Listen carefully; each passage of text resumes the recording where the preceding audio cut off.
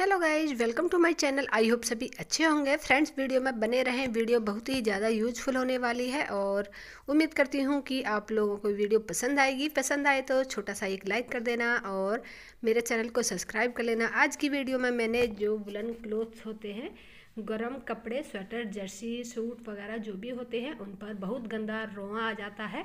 उसको हटाने का एक छोटा छोटा टिप्स और तरीके दिखाए हैं। और कपड़े को किस तरीके से फोल्ड करें कि वो कम ही जगह में आ जाएँ। यही तरीका मैंने इस वीडियो में दिखाया है। आई होप कि ये तरीका आपको ज़रूर पसंद आएगा। तो प्लीज़ प्लीज़ एक बार वीडियो में बने रहें और वीडियो को पूरा एक बार ज़रूर देख लें बिना स्किप किए और बताएँ कि ये वीडियो आपको कैसी लगी। चलो करते हैं वीडियो की शुरुआत। तो फ्रेंड्स सर्दी तो भयंकर वाली चल ही रही है। आजकल आप लोग स्वेटर जर्सी और जो भी वुलन क्लोथ्स पहनते हैं और कई बार तो होता है कि हम पहनकर सो ही जाते हैं और कई बार तो सोते भी नहीं हैं, कुछ टाइम के लिए पहनते हैं और आप देखते हैं कि हमारे स्वेटर सूट जो भी होते हैं, सब में हल्का सा रोआ आ जाता है, किसी किसी कपड़े में तो बहुत ही ज़्यादा आ जाता है किसी किसी में कम आता है। और जिस कपड़े को पहनकर सो जाते हैं, उसमें तो ज़्यादा ही आता है। तो फ्रेंड्स, आप देख रहे हैं, यहाँ पर मैंने कुछ वुलन क्लोथ सिले हैं, जिनमें काफ़ी रोआ आ गया है। तो आज मैं इसको हटाने का एक सिंपल से तरीके दिखाऊँगी। आई होप की वीडियो पसंद आएगी। तो फ्रेंड्स, जहाँ पर रोआ है, पहले उस कपड़े को अच्छे से फैला लेंगे और यहाँ पर मैंने लिए हैं ये रेजर और एक लिया है स्क्रबर। ये रेजर जो हर घर में मिल ही जाते हैं, हर घर में अवेलेबल होते हैं। तो फ्रेंड्स, यहाँ पर मैंने ये रेजर लिया है एक और इस तरीके से हल्के हाथ से रेजर को चलाते रहेंगे। तो फ्रेंड्स, आप देखेंगे कुछ ही टाइम में रोआ हटकर और इस पर चिपक गया है। तो बहुत ही अच्छा तरीका है, आप कोई भी पुराना रेजर ले लीजिए और इस तरीके से हल्के हाथ से उसको घिसते रहे। आप देखेंगे कि रोआ सारा चिपक कर आ जाएगा, रोए को बाद में हटा दीजिए। तो फ्रेंड्स, यहाँ पर मैंने ये दूसरे तरीके का सिंपल वाला ब्लेड, सिंपल ब्लेड लगाने वाला रेजर लिया है और इस रेजर को हल्के हाथों से इस तरीके से एक साइड को करते रहेंगे। आप देखेंगे कुछ ही देर में सारा रवा एक तरफ़ को इकट्ठा हो जाएगा और हमारा जो भी स्वेटर, सूट सॉल वगैरह होगा उसका रूम बिल्कुल साफ़ हो जाएगा। तो फ्रेंड्स, आप देख सकते हैं, थोड़ी ही देर में पूरी बाजू को मैंने इस तरीके से साफ़ कर लिया है, इस रेजर से। तो फ्रेंड्स, अगली टिप्स मैं दिखाऊँगी कि जो घर में हमारे स्क्रबर इस्तेमाल होते हैं बर्तन साफ़ करने के लिए तो आज उसी का इस्तेमाल हम ये लेड हटाने के लिए करते हैं, जो कपड़ों में लेड आ जाती है, बहुत गंदी लगती है।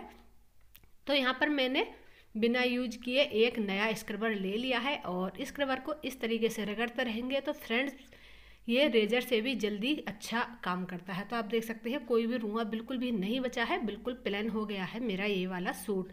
तो आज मैं यही करने जा रही थी, मुझे लगा कि ये टिप्स आप लोगों को पसंद आएगी तो आपके साथ भी शेयर करूँ। तो फ्रेंड्स, आप चाहें तो यहाँ पर स्क्रबर से या रेजर से, रोए को आराम से हटा सकते हैं। तो यहाँ पर मैंने पूरे सूट को साफ़ कर लिया है, दोनों बाजू कुर्ते की मेरे साफ़ हो गई हैं। अभी चेस्ट वगैरह से भी हटा लिया है, क्योंकि कुछ जगह पर ही ज़्यादा आता है रोआ। तो एक तो बाजू बहुत ज़्यादा काम करते हैं तो बाजुओं पर आ जाता है। और किसी किसी कपड़े में तो खैर बिल्कुल भी नहीं आता है, लेकिन किसी किसी कपड़े में थोड़ा सा पुराना होने लगता है और कपड़ा पूरा रोए से भर जाता है। तो फ्रेंड्स, इस तरीके से आप भी अपने कपड़ों से रोआ हटा सकते हैं और बताइएगा कि ये टिप्स आपको कैसी लगी। इन टिप्सों में से कौन सी टिप्स आपको सबसे ज़्यादा पसंद आई? तो फ्रेंड्स, आप देख सकते हैं मेरे सूट को मैंने बिल्कुल प्लान कर लिया है रेजर और स्कर्वर के इस्तेमाल से। आई होप कि ये आइडियाज़ आपको पसंद आ रहे होंगे तो फ्रेंड्स आप भी अपने पुराने कपड़े के रोए हटाकर उसको बिल्कुल नया जैसा कर सकते हैं, क्योंकि रोए वाला कपड़ा पहनने में बहुत गंदा लगता है। तो फ्रेंड्स ये एक स्वेटर है मेरे पास, जो काफ़ी पुराना है और इस पर नए पर ही काफ़ी लीड आ गई थी, काफ़ी रोए आ गए थे, जो बहुत ही गंदे लगते हैं और पहनने का भी बिल्कुल भी मन नहीं हो रहा है। तो फ्रेंड्स एक बार मैं फिर से आपको इसको रेजर को चला कर दिखाती हूँ कि इस पर आप देख सकते थे कितना रोआ था और अभी कुछ देर में ही इसका रोया हो जाएगा गायब। कुछ तो मैं करूँगी जो मेरे हाथ में लगा हुआ है रेजर। इससे साफ़ करूँगी, आप देख सकते हैं, एक साइड को हो गया है सारा रोआ। और ब्लैक पर रोआ हो जाता है वाइट वाइट जो बहुत ही गंदा लगता है। ब्लैक कलर का कोई भी ब्लन कपड़ा होता है उसका रोआ वाइट कलर का हो जाता है, जो बहुत ही गंदा लगता है।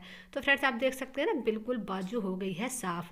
अभी दूसरी तरफ़ से मैं स्कर्वर से करके आपको दिखाती हूँ। तो फ्रेंड्स, ये वीडियो, ये आइडियाज़ आपको थोड़े से भी अच्छे लग रहे हो तो आप सभी से रिक्वेस्ट है कि प्लीज़ एक बार वीडियो को लाइक कर देना। लाइक करने का कोई भी यहाँ पर पैसा नहीं लगता है तो आप लोग छोटा सा लाइक कर दीजिएगा और वीडियो अच्छी लग रही हो, मेरे चैनल को सब्सक्राइब भी कर लीजिएगा, जिससे हर वीडियो की नोटिफिकेशन आपको मिल सके। उसके लिए बेल आइकन को ऑल पर प्रेस भी कर लीजिएगा।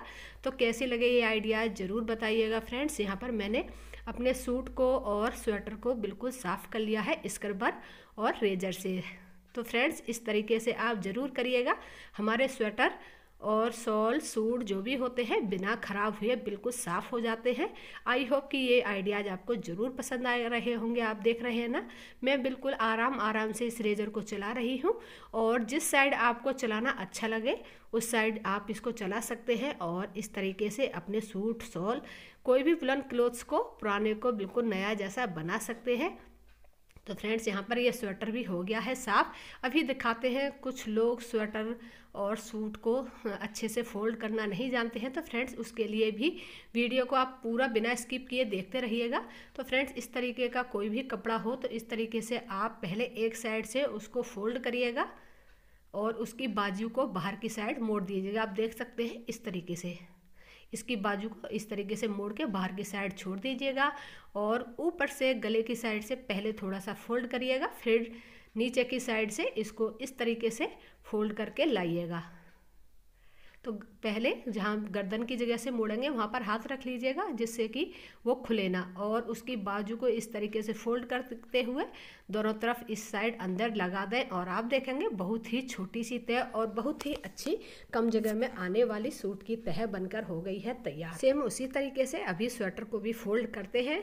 तो फ्रेंड्स, इस तरीके से आप फोल्ड करके रखेंगे, आप देखेंगे कि थोड़े से बीच में बहुत सारे कपड़े आ जाते हैं। तो सेम उस तरीके से पहले एक साइड को मोड़ेंगे और बाजू को बाहर की साइड छोड़ देंगे। सेम उसी तरीके से दूसरी साइड को मोड़ेंगे, बाजू को बाहर की साइड छोड़ेंगे, नीचे से फोल्ड करते हुए आएँगे, एक बाजू को मोड़ेंगे और इस तरीके से लगा देंगे और दूसरी बाजू को उठाएँगे तो इस तरीके से अंदर को फोल्ड कर देंगे। आई होप कि ये आइडियाज़ आपको ज़रूर पसंद आए होंगे। फ्रेंड्स देख सकते हैं ना, कितना सुंदर लग रहा है। तह बनाने के बाद सारे कपड़े कितने सुंदर दिख रहे हैं ना। आई होप की वीडियो आपको आई होगी। पसंद आई हो तो छोटा सा लाइक कर देना और आप भी इन टिप्स को फॉलो करके अपना टाइम बचा सकते हैं। तो एक छोटा सा लाइक बनता है। Thanks for watching. Bye bye. Take care.